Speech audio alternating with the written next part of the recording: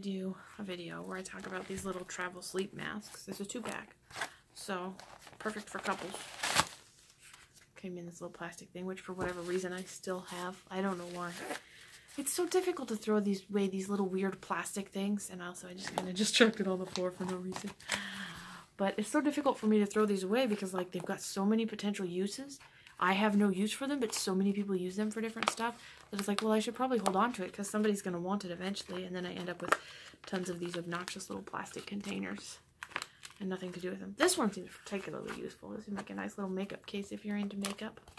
I can't makeup though, so I try, but I don't look good. Anyway, on to the topic.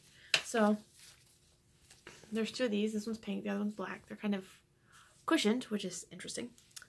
And uh, they're Velcro adjustable on the back, but you can just slide it on, and it's got this little nose nook, I guess. It's nice because like the eyes are molded so this doesn't press against your eyes, which always bothers me with most of these masks. Oh my god, I've got a killer headache and this feels so nice right now. Just a nice calming darkness. Anyway, um, yeah. Oh god, now my head hurts even worse.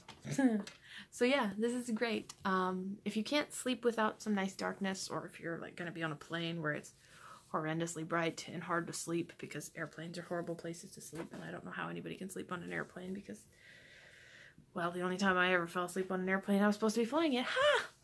No, I didn't really. I didn't. I didn't fall asleep. I just kind of lost track of what I was doing and flew past my destination. So, oops. Pilots are people too, you know. But anyway, um, yeah. So these are pretty cool. I like this shade of pink. It's nice and bright. And the other one is black, which I will show now. Place the other little baggie behind me. Now I can't find it. So this one is black. Um, pretty simple little masks.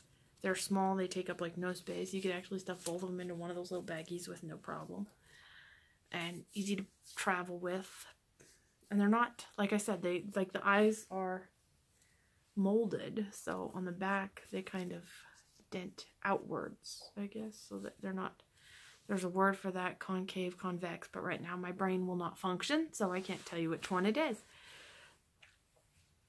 but it keeps it from rubbing against your eyes, which is nice. Even with my glasses, like when I blink, my eyelashes brush against the inside of my glasses, and it's terribly annoying. I don't know if I said eyelashes or eyelids, because, yeah, I am sleep deprived. My baby was up all night, and I don't know why. It was a terrible night. But anyway, these are nice. Keep the light out. If you're trying to sleep on a plane or on a train or even just somewhere where people have the lights on for some reason. Like if you're sharing a hotel room with your kids and your kids are scared of the dark and you gotta leave a light on for them.